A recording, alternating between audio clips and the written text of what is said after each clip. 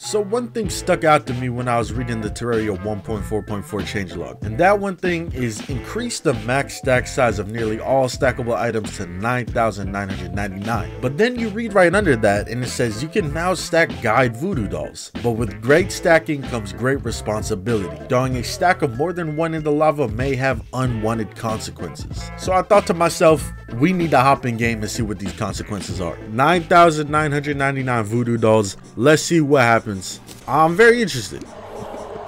Okay. Oh, it seems like that killed every single NPC in the world, and there's just one wall of flesh. Okay, a little anticlimactic. I thought we were gonna get like 900 wall of fleshes, I'm not gonna lie.